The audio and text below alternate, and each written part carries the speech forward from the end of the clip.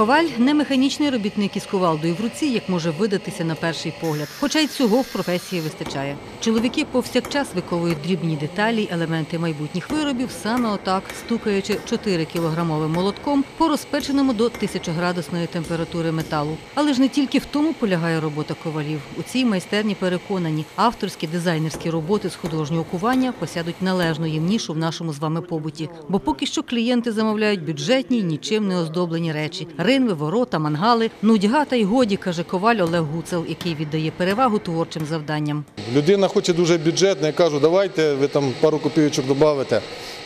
Ми прикрасимо таким таким елементом, ну в основному кажуть, да, і соглашаються.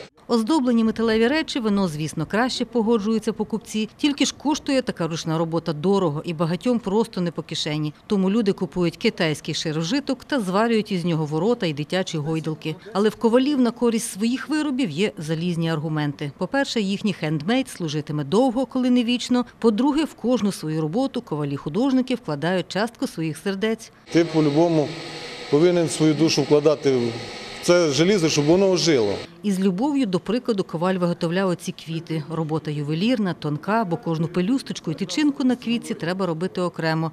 Зате троянди і лілії дуже до вподоби жінкам. Жінкам дуже приємно. От, е, я коли дарую квітку, я кажу, ця квітка ніколи не зав'яне.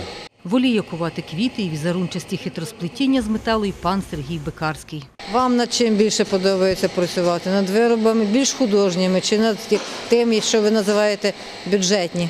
Ну, Звичайно, над художніми, щось постійно нове пробувати, ем, виковувати. А бюджетні це просто щоб ну, для, для заробітку. І саме за цю творчість чоловік обожнює свою професію. Проте також вимушений кувати ринви й ворота примітивного вигляду. Однак коваль мріє розвиватися в художньому сенсі, тож знаходить час для творчості і мріє, що колись кишені українців не будуть напівпорожніми і речі хендмейд стануть нормою життя співвітчизників. Світлана Поробок, Віктор Кривий з Летичева для інформаційного випуску.